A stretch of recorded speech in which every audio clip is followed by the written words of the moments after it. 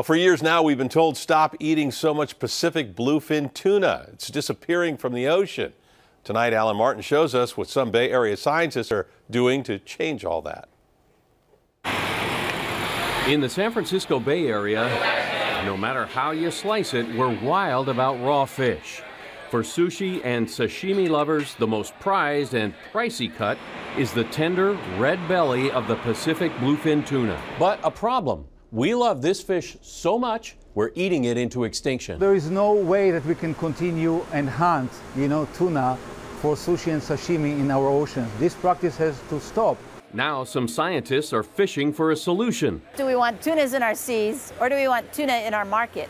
I believe that it's possible to have both. Stanford professor Barbara Block pioneered the tagging and tracking of bluefin tuna in the wild. It unlocked the mysteries of where these fish feed and breed.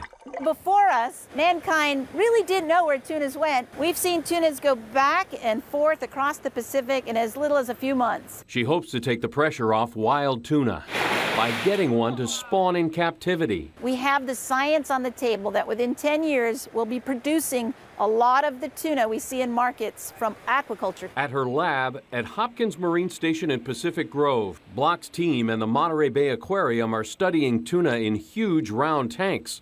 The warm-blooded fish are fast, sleek, and powerful, jumping out of the water to snatch food at feeding time.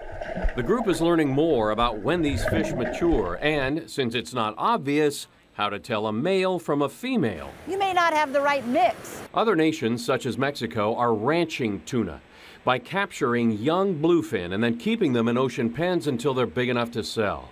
But to fatten them up, they're fed a massive amount of wild sardines, and that puts pressure on sardines.